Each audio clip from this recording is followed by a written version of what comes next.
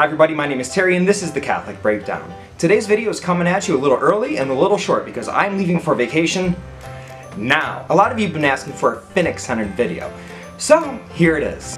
One of the first things I realized about my cat was how much I loved him.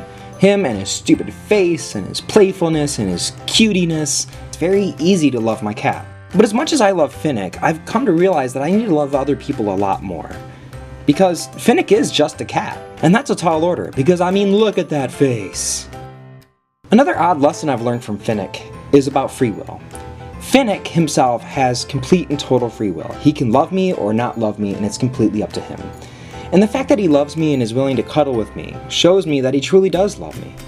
If he was just a little robot cat and I could press a button and he could cuddle with me at any time, well, then it's not real love. It's just something that I would eventually get bored with. And from this, I really truly believe that the Father gave us free will, so we could truly love Him. We could reciprocate that love of our own free will, because then it really means something. And another lesson I've learned from a cat is how much that he loves me unconditionally. Because whenever I feel like I've screwed up or I've done something wrong or when I've sinned, Finnick comes up to me and he starts rubbing on me and showing me love.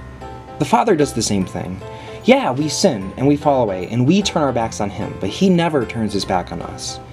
He loves us in a cat way or a dog way. It's this infinite, unconditional love that no matter what you've done, He just wants to love you.